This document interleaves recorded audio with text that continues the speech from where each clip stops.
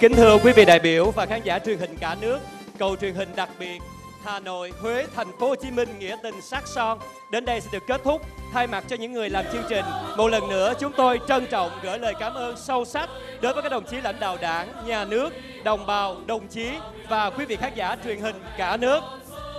Xin được trân trọng cảm ơn Tập đoàn Viễn thông Quân đội Viettel cùng với tất cả các quý vị khách quý đã góp phần quan trọng để làm nên thành công cho chương trình. Kính chúc quý vị sức khỏe, xin thân ái, chào tạm biệt và hẹn gặp lại. Việt Nam